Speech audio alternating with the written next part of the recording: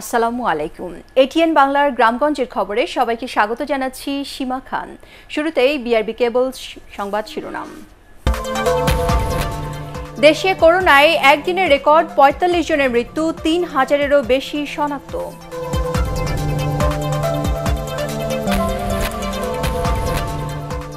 লকডাউনের জন্য প্রস্তুত রাজধানী পূর্ব রাজাবাজার, নোয়াখালী সদর ও বেগমগঞ্জে লকডাউন শুরু, মানা হচ্ছে না নারায়ণগঞ্জে। বিশ শতাংশ মুসল্লি নিয়ে সীমিত পরিসরে হজ আয়োজনের সিদ্ধান্ত সৌদি আরবের। প্রস্তুতি নিচ্ছে বাংলাদেশও, জানালেন ধর্ম প্রতিমন্ত্রী। এবং বৃষ্টি আর পাহাড়ি ঢলে পানিবন্দী হবিগঞ্জের কয়েক উপজেলার মানুষ।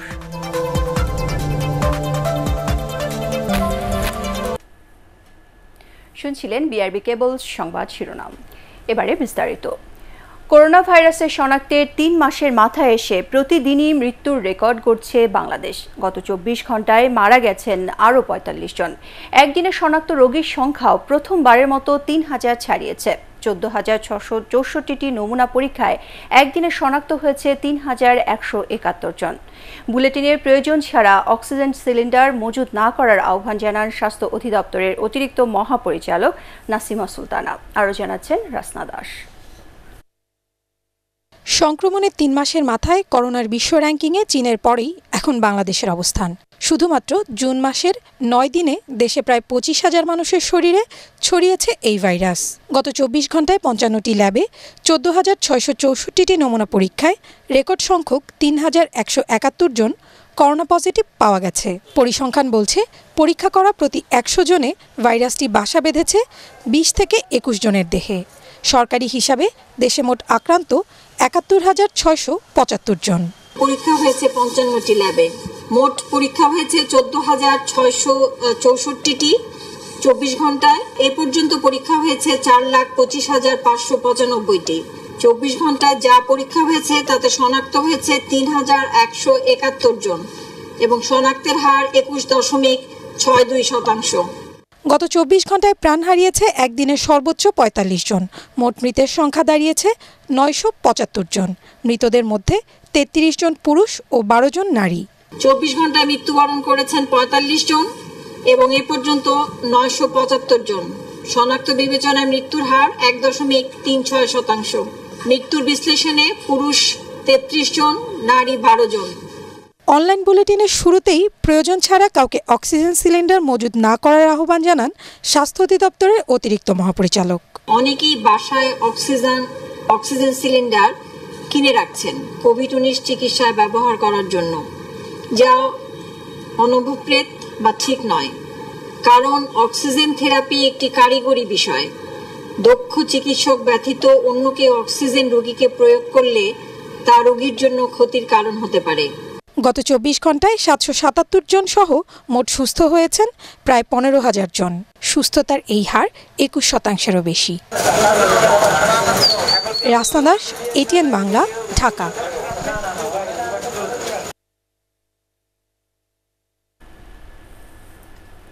সাবেক স্বাস্থ্যমন্ত্রী মোহাম্মদ নাসিম এখনও কোমায়, তবে তার করোনা পরীক্ষায় নেগেটিভ এসেছে। এদিকে আক্রান্ত হয়েছেন যশোর চার আসনের সংসদ সদস্য বাবু রণজিৎ কুমার রায়। করোনায় জাতীয় রাজস্ব বোর্ডের উপ কর কমিশনার সুধাংশু কুমার সাহার মৃত্যু হয়েছে। মারা গেছেন মহিলা বিষয়ক অধিদপ্তরের পরিচালক ফখরুল কবিরও। এদিকে লকডাউন হলো নোয়াখালীর বেগমগঞ্জ ও সদর উপজেলা। চব্বিশ ঘন্টায় দেশের বিভিন্ন জেলায় করোনা ভাইরাসের উপসর্গ নিয়ে বারো জনের মৃত্যুর খবর পাওয়া গেছে।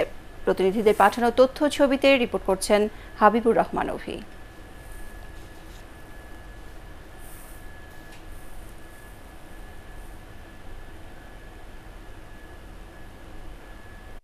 সবশেষ পরীক্ষায় সাবেক স্বাস্থ্যমন্ত্রী মোহাম্মদ নাসিমের করোনা নেগেটিভ এসেছে, তবে তিনি এখনও কোমাই। তাকে আরও বাহাত্তর ঘণ্টা পর্যবেক্ষণে রাখতে চান চিকিৎসকরা। এদিকে করোনায় মারা গেছেন মহিলা বিষয়ক অধিদপ্তরের পরিচালক ফখরুল কবির। রাজধানীর বেসরকারি একটি হাসপাতালে চিকিৎসাধীন অবস্থায় মারা যান তিনি। করোনায় আক্রান্ত হয়ে মারা গেছেন জাতীয় রাজস্ব বোর্ডের উপকর কমিশনার সুধাংশু কুমার সাহা। রাতে ঢাকা মেডিকেল কলেজ হাসপাতালের আইসিইউতে মৃত্যুবরণ করেন তিনি। এদিকে করোনা ভাইরাসের সংক্রমণ আশঙ্কাজনক হারে বেড়ে যাওয়ায় প্রতিদিনই লকডাউন হচ্ছে দেশের বিভিন্ন জেলার চিহ্নিত এলাকাগুলো। নোয়াখালীর বেগমগঞ্জ ও সদর উপজেলায় শুরু হওয়া লকডাউন চলবে তেইশ জুন পর্যন্ত। এদিকে নারায়ণগঞ্জের তিনটি এলাকায় দ্বিতীয় দিনের মতো চলছে লকডাউন। কিন্তু সে সতর্কতা লোকজন মানছে না। গত চব্বিশ ঘন্টায় করোনা ভাইরাস আক্রান্ত হয়ে একজনের মৃত্যু হয়েছে। এ নিয়ে মৃত্যু হলো নব্বই জনের। রেড জোন ঘোষিত কক্সবাজার পৌর এলাকাতেও চলছে লকডাউন। জেলায় আক্রান্তের সংখ্যা হাজার ছাড়িয়েছে। এ পর্যন্ত মৃত্যু হয়েছে এক রোহিঙ্গা সহ একুশ জনের। এদিকে করোনা আক্রান্ত হয়েছেন যশোর চার আসনের সংসদ সদস্য রঞ্জিত কুমার রায়। করোনা ভাইরাসে বরিশালের রাহাত আনোয়ার হাসপাতালের চেয়ারম্যান ডাক্তার আনোয়ার হোসেনের মৃত্যু হয়েছে। এ নিয়ে সেখানে মৃত্যু হলো দশ জনের। ব্রাহ্মণবাড়িয়ায় চব্বিশ ঘন্টায় স্বাস্থ্যকর্মী ব্যাংকার সহ আরও পঁচিশ জন করোনা ভাইরাসে শনাক্ত হয়েছেন। শরীয়তপুরে সদর হাসপাতালে এক ডাক্তারসহ নতুন এগারো জন এবং জামালপুরে তিনজন করোনা ভাইরাসে শনাক্ত হয়েছেন। এছাড়া সিরাজগঞ্জে নতুন করে ষোলো জন, এ পর্যন্ত একশো ছাপ্পান্ন জন আক্রান্ত হয়েছেন। হাবিবুর রহমান, অফি, এটিএন বাংলা। বিশ্বব্যাপী করোনা মহামারীর কারণে এবছর অল্প সংখ্যক মুসল্লি নিয়ে সীমিত পরিসরে হজ আয়োজনের সিদ্ধান্ত নিয়েছে সৌদি আরব। তাতে প্রত্যেক দেশের জন্য নির্ধারিত কোটার সর্বোচ্চ বিশ শতাংশ এবার হজে যেতে পারবেন। সোমবার সৌদি আরবের সরকারি সূত্রের বরাত দিয়ে এ খবর জানিয়েছে সংবাদ সংস্থা রয়টার্স। বাংলাদেশও এ ব্যাপারে প্রস্তুতি নিচ্ছে বলে জানিয়েছেন ধর্ম প্রতিমন্ত্রী আরও জানাচ্ছেন নিয়াজ জামান সজীব। আমাদের দেশের কার্যক্রম কিন্তু সম্পন্ন করে রাখছে। আমার মনে হয় যে আমাদের যে এক লক্ষ সাতত্রিশ হাজার কোটা, এই কোটা জায়গা দেওয়ার মতো অবস্থা সৌদি আরবের হবে না। আশা করি পনেরো তারিখের মধ্যে, পনেরোই জুন এই মাসের পনেরো তারিখের মধ্যে তারা দিতে পারবেন। এবং আমরা আশা, তারা, উনি বললেন যে আমরা মনে করি যে পজিটিভ একটা সিদ্ধান্ত আসবে। তাহলে আমরা ইনশাআল্লাহ যারা আমাদের প্রক্রিয়া সম্পন্ন করেছেন, নিশ্চয়ই তারা হজে যেতে পারবেন আপনারা যারা টাকা জমা দিয়েছেন, তারা হজে যাওয়ার প্রস্তুতি সম্পন্ন করে ফেলুন। যে কোনো মুহূর্তে পজিটিভ সিদ্ধান্ত আসতে পারে এবং বাংলাদেশের থেকে আপনারা হজে যেতে পারবেন। এ ব্যাপারে আমি মোটামুটি আল্লাহর পর ভরসা রেখে আমি নিশ্চিন্ত হতে চাই। সবশেষ তথ্য অনুযায়ী, সৌদি আরবে এখনও পর্যন্ত এক লাখ পাঁচ হাজার দুইশো তিরাশি জনের করোনা ভাইরাস শনাক্ত হয়েছে। এর মধ্যে সাতশো ছেচল্লিশ জনের মৃত্যু হয়েছে। করোনা সংক্রমণ ঠেকাতে গত মার্চ থেকে সে দেশের সব ধরনের ভিসা বন্ধ রয়েছে। গত সপ্তাহ থেকে জেদ্দায় নতুন করে লকডাউন ঘোষণা করা হয়েছে। নিয়াজ জামান সজীব, এটিএন বাংলা, ঢাকা। বৃষ্টি আর পাহাড়ি ঢলে হবিগঞ্জে পানিবন্দী হয়ে পড়েছে বিভিন্ন উপজেলার মানুষ। পানিতে তলিয়ে গেছে ফসলি মাঠ সহ বসতবাড়ি ও বিভিন্ন স্থাপনা। গত কয়েকদিন ধরে প্রবল বর্ষণ আর পাহাড়ি ঢলে পানিবন্দী তিন উপজেলার অনেক এলাকা। এছাড়াও প্লাবিত হয়েছে শতাধিক গ্রাম। হবিগঞ্জ প্রতিনিধি আব্দুল হালিমের পাঠানো তথ্যচিত্র নিয়ে একটি ব্যুরো রিপোর্ট। কয়েকদিনের পাহাড়ি ঢলে হবিগঞ্জের খোয়াই, করাঙ্গি ও সুতাং নদীর পানি বেড়ে যাওয়ায় আশপাশের এলাকা প্লাবিত হয়েছে। জেলার বাহুবল, শায়েস্তাগঞ্জ ও চুনারুঘাট উপজেলায় তলিয়ে গেছে রাস্তাঘাট, আবাদি জমি ও মাছের খামার। ভেসে গেছে অসংখ্য গবাদি পশু। ঘরবাড়ি ও নলকূপ তলিয়ে যাওয়ায় অভাব দেখা দিয়েছে খাবার এবং বিশুদ্ধ পানির। করোনা ভাইরাস গেছে, তিন মাস হয়েছে এই কারণে আমরা কাজ কাম নাই, অনেক মানুষ আছে, খাইতে পারতেছে না, দিন এক বেলাও খাইতে পারতেছে না। যদি সরকার একটু আমাদের দিকে সুদৃষ্টি দেয়, তাহলে হয়তো আমরা দুই আবাদি ফসল রক্ষায় বন্যা কবলিত এলাকা পরিদর্শন করেছেন পানি উন্নয়ন বোর্ডের কর্মকর্তারা।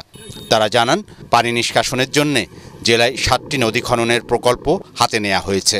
হবিগঞ্জ জেলার কয় নদীর দুই পাশে বাঁধ আছে। আমার এই কুশিয়ারা নদীর পাড়ে বাঁধ আছে, কিন্তু সুতাং নদীর পাড়ে কোনো বাঁধ নেই। ইতিমধ্যে একটা আমরা পঁয়তাল্লিশ কিলোমিটার খননের জন্য প্রস্তাবনা পাঠিয়েছি। এই পঁয়তাল্লিশ মিট পঁয়তাল্লিশ কিলোমিটার সুতাং নদী খননের ফলে যে মাটি উঠবে, সেই মাটি দিয়ে আমরা দুই পাড়ে বাঁধ করে দিব। এদিকে বন্যা কবলিত অনেক এলাকায় এখনও পৌঁছায়নি ত্রাণ সামগ্রী। Bureau report, ATN Bangla. করোনার প্রভাবে ব্যাপক ক্ষতির মুখে পড়েছে ঝালকাঠি নৌকা শিল্প। মিস্ত্রির অভাবে নৌকা তৈরি যেমন বাধাগ্রস্ত হচ্ছে, তেমনি স্থানীয় হাটে দূর দূরান্তের ক্রেতারাও আসতে পারছেন না। ফলে বিপাকে পড়েছেন এ শিল্পের সাথে জড়িতরা। ঝালকাঠি প্রতিনিধি শ্যামল সরকারের রিপোর্ট জানাচ্ছেন ইশরাত লিমা। খালবিল ও নদীনালা বেষ্টিত ঝালকাঠি ও এর আশেপাশের জেলাগুলোতে বর্ষা মৌসুমে নৌকার কদর অনেক বেড়ে যায়। যাতায়াতের পাশাপাশি ধান কাটা বাগান থেকে পেয়ারা, আমড়া, সবজিসহ ফসল সংগ্রহ এবং বাজারজাত করতে নৌকার বিকল্প নেই। নৌকার চাহিদা থাকলেও এবছর করোনার বিরূপ প্রভাব পড়েছে এই শিল্পের উপর। একদিকে মিস্ত্রি সংকট, অন্যদিকে করোনার ভয়ে ক্রেতারা আসছেন না স্থানীয় নৌকার হাটে। এবছর নৌকাটা একটু দাম কম করোনা টরোনা আছে। হ্যাঁ লোকজন আসতে পারে না দূর দেওয়া নৌকো জন্য বানাতে স্ত্রী দেয়া, টাকা পয়সা নাই, গাছ কিনবে কি ঝালকাঠির সীমান্তবর্তী প্রায় দুশো বছরের পুরনো আটঘর হাটে আগের বছরের তুলনায় সিকিভাগ নৌকাও আসেনি। ক্রেতার আনাগোনাও অনেক কম। বিক্রেতারা বলছেন কাঠসহ বিভিন্ন উপকরণের দাম বাড়লেও বাড়েনি নৌকার দাম। আর ক্রেতাদের অভিযোগ দাম আগের বছরের তুলনায় অনেক বেশি। আমাদের বিভিন্ন কৃষি খাতে ঢুকতে হইলে আমাদের ছোট নৌকা লাগে। আমাদের এই এলাকায় নৌকা ছাড়া বিকল্প কোনো পথই নেই। আমাদের এবছরে বাজার অবস্থা বেশি একটা ভালো না কারণ ভাইরাসের কারণে। মানে বাজারে নৌকা আসে না আর বিক্রেতা মানে ক্রেতাও কম বিক্রেতাও কম। নৌকা শিল্পের সাথে জড়িত ক্ষতিগ্রস্তদের প্রয়োজনীয় সহায়তা দেওয়ার কথা জানিয়েছেন জেলা প্রশাসন। করোনার প্রভাবে সেখানে কিছু ক্ষতিগ্রস্ত হয়েছে আমরা শুনেছি এবং আমি গিয়েছি যে এখানে আসলে নৌকা বেচা কেনা আগের তুলনায় কমে গেছে। যারা নৌকা তৈরি করে এবং যারা নৌকার বাজারটা বসায় তাদের হয়তো ক্ষতিগ্রস্ত হচ্ছে। আমরা চেষ্টা করব তাদের যদি এই ধরনের কোনো ব্যাপক কোনো সমস্যা হয় আমরা আমাদের পক্ষে যতদূর করা সম্ভব আমরা সহায়তা করি। সেইভাবে তাদেরও কিছু সহায়তা যদি লাগে আমরা সেটা করতে পারব। সরকার প্রয়োজনীয় সহায়তা দিলে ছালকাঠির ঐতিহ্যবাহী এই শিল্প আবারও ঘুরে দাঁড়াতে পারবে বলে মনে করছেন সংশ্লিষ্টরা। Bureau report, ATN Bangla. সরকারি একশো উননব্বই মেট্রিক টন চাল আত্মসাতের অভিযোগে নীলফামারী ডিমলা উপজেলা খাদ্য গুদামের ভারপ্রাপ্ত কর্মকর্তা হিমাংশু কুমার রায়কে সাময়িক বরখাস্ত করা হয়েছে। খাদ্য বিভাগ জানায়, বিভিন্ন সময়ে ওই গুদাম কর্মকর্তার বিরুদ্ধে সরকারি চাল ও খালি বস্তা আত্মসাতের অভিযোগ ওঠে। অভিযোগের প্রেক্ষিতে গঠন করা দুই সদস্যের তদন্ত কমিটি চাল আত্মসাতের প্রমাণ পায়। পরে গুদামটি সিলগালা করে তার বিরুদ্ধে মামলা ও একটি সাধারণ ডায়েরি করেন ডিমলা উপজেলা খাদ্য নিয়ন্ত্রক জগদীশ চন্দ্র সরকার। ঘটনার পর থেকেই হিমাংশু কুমার রায় পলাতক রয়েছেন। মেহেরপুরে সামাজিক দূরত্ব মেনে নিয়মিত আদালত চালুর দাবিতে মানববন্ধন করেছে জেলা আইনজীবী সমিতি। সকালে কোর্ট মোড়ে জেলা আইনজীবী ভবনের সামনে মানববন্ধন অনুষ্ঠিত হয়। জেলা আইনজীবী সমিতির সভাপতি অ্যাডভোকেট মারুফ আহমেদ বিজন ও সাধারণ সম্পাদক অ্যাডভোকেট আবু সালে নাসিম সহ সমিতির অন্যান্য সদস্যরা মানববন্ধনে অংশ নেন। এ সময় পনেরোই জুনের পরে ভার্চুয়াল কোর্টের মেয়াদ আর না বাড়ানোর দাবি জানান আইনজীবীরা।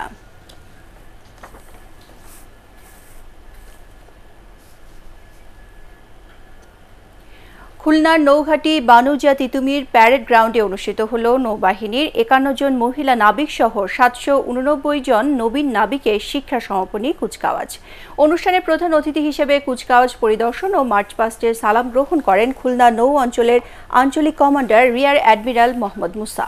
পরে তিনি কৃতি নবীন নাবিকদের মধ্যে পুরস্কার বিতরণ করেন। অনুষ্ঠানে খুলনা নৌ অঞ্চলের সীমিত সংখ্যক নৌ কর্মকর্তা সহ সামরিক, বেসামরিক কর্মকর্তারা উপস্থিত ছিলেন।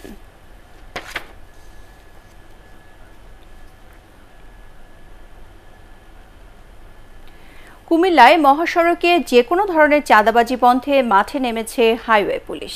সকালে ঢাকা, চট্টগ্রাম মহাসড়ক সহ বিভিন্ন সড়ক ও আঞ্চলিক মহাসড়কে যাত্রীবাহী ও পণ্যবাহী পরিবহন থেকে চাঁদাবাজি বন্ধ করতে ক্যাম্পেইন করে হাইওয়ে কুমিল্লা রিজিয়ন। এ সময় শ্রমিক কর্মচারীদের সাথে মতবিনিময় ছাড়াও করোনাকালীন সময়ে স্বাস্থ্যবিধি মেনে যানবাহন চালানো এবং যাত্রী পরিবহনের নির্দেশনা দেওয়া হয়। হাইওয়ে কুমিল্লা রিজিয়নের পুলিশ সুপার নজরুল ইসলাম সহ অন্যান্যরা এ সময় উপস্থিত ছিলেন। গাজীপুরের জয়দেবপুরে একটি মার্কেটে ডাকাতির বাইশ দিন পর দেশের বিভিন্ন স্থানে অভিযান চালিয়ে আট ডাকাতকে গ্রেপ্তার করেছে গোয়েন্দা পুলিশ। এ সময় তাদের কাছ থেকে লুণ্ঠিত স্বর্ণালঙ্কার, মোবাইল ফোন ও ডাকাতি কাজে ব্যবহৃত একটি পিক সহ বিপুল সংখ্যক মালামাল উদ্ধার করা হয়। দুপুরে গাজীপুরে এক সংবাদ সম্মেলনে এসব তথ্য জানান পুলিশ সুপার শামসুন নাহার তাদের বিরুদ্ধে বিভিন্ন থানায় একাধিক মামলা রয়েছে বলে জানিয়েছেন পুলিশ। হবিগঞ্জে পাঁচ লাখ ষাট হাজার মিটার অবৈধ কারেন্ট জাল উদ্ধার করেছে জেলা প্রশাসন ও মৎস্য বিভাগ। সকালে জেলা সদরের চৌধুরী বাজারে কয়েকটি দোকানে অভিযান চালিয়ে এসব জাল উদ্ধার ও দুই ব্যবসায়ীকে পনেরো হাজার টাকা জরিমানা করা হয়। নির্বাহী ম্যাজিস্ট্রেট মাসুদ রানা ও জেলা মৎস্য কর্মকর্তা শাহজাদা খসরু এ সময় উপস্থিত ছিলেন। পরে জেলা প্রশাসনের নিমতলায় এসব জাল পুড়িয়ে ধ্বংস করা হয়। কুমিল্লায় করোনার প্রভাবে বিপর্যস্ত হয়ে পড়েছে জেলার পোলট্রি শিল্প। ক্রেতা শূন্যতায় ডিম ও মুরগি বিক্রি করতে না পেরে হতাশায় দিন কাটছে ব্যবসায়ীদের। ভ্যানে করে ডিম, মুরগি নিয়ে নিজেরা বিভিন্ন এলাকায় স্বল্প পরিমাণে বিক্রি করলেও তাতে ক্ষতি পোষানো সম্ভব হচ্ছে না। দিনে দিনে বাড়ছে খামারির ঋণের বোঝা।